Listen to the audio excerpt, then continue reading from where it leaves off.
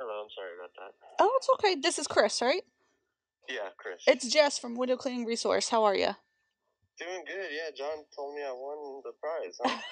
You did. You won a really, really big prize. Uh, Crazy, I know. man. Um, so were you were you super surprised? Extremely surprised. I, I just, you know, I don't really think about that. I mean, I just, it was, I knew about it, but I just didn't think about actually winning it Do you always order through John Lee? Every time. Yeah. he's John Lee's great. He's the best. Um, oh yeah, he's the best. I love He's we've we've picked a couple random winners who he's placed the order, so I told him I would give him you know a little shout out. But you know he Cool. he's great. It's gonna be a great upgrade. What do you have? What are you using right now? Uh, my eight-year-old Tucker.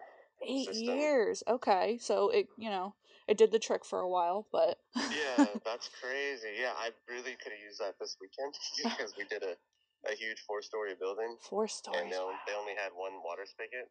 Yeah.